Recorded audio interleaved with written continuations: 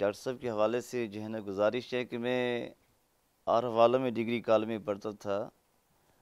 मेरे ख्याल है आज से जो है ना बीस साल पहले।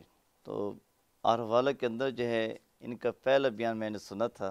तो इससे पहले दिल में जो है ना एक थोड़ी सी तड़प थी कि हमारी सुनियों में भी कोई ऐसा आलिम हो कि जिसके पास असरी उलूम भी हो।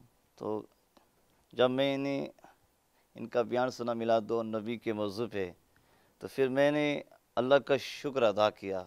मैं कहा, एक एक आदमी तो है ना, ये अल्हम्दुलिल्लाह सुनियों के पास आ गया है। तो उसके बाद जो है, अपना हज़रत का मनाजरा हुआ था शीयों के साथ। वो मैंने पूरी डिस्क ली, ठीक है ठीक है बैठ कर जो है पूरी जो है ना वो सुनी और ठीक, उसकी तहकीक की। उसके बाद जो है ना, अल्हम्दुलिल्लाह जो है मैं इनका दीवाना हो गया।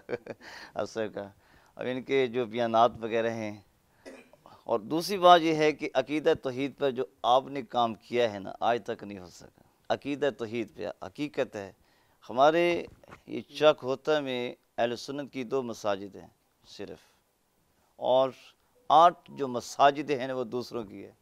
चूँकि हर वक्त जो है ना वो जहन जो जो था बहुत ज़्यादा परेशान रहता था। ठीक है लिटरेचर के हवाले से भी जो आपने बहुत काम किया आपके मकाले जो हैं, वो बाकायदा पहुँचे तो और मैं तो यही कहूँगा कि जो आपका जो ये लकब है कनजुलमा तो बल्कि मैं तो ये कहता हूँ कनजुलमा की बजाय जो है ना, ये कनजुलमत है। फ़कत के भी नहीं, पूरी जो उम्मत है ना ठीक सरकार के जो दीवान है, सब के लिए आपकी जो, आपकी ज़ात ग्रामी है, वो ख़जाना है। अल्लाह ताला इनकी उम्र जो है उम्र दराज फरमाए और बाकी अल हज़रत की याद इन्होंने ताज़ा कर दी, जो मौजूदा दौर के अंदर।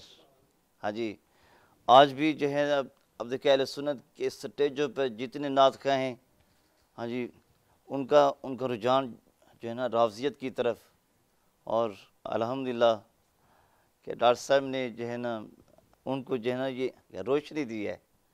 कि हक और जो बातिल की जो तमीज़ है हाँ जी, इम्तियाज़ जो है ना, वो आपने करके दिखा दिया। और फिर आपकी जो चाहे तहरीर हो हाँ जी, चाहे आपकी आपकी तकरीर हो, उसमें वही लहजा जो जो अल हज़रत वाला था, इमाम सुन्नत का वही आपके अंदर मौजूद है।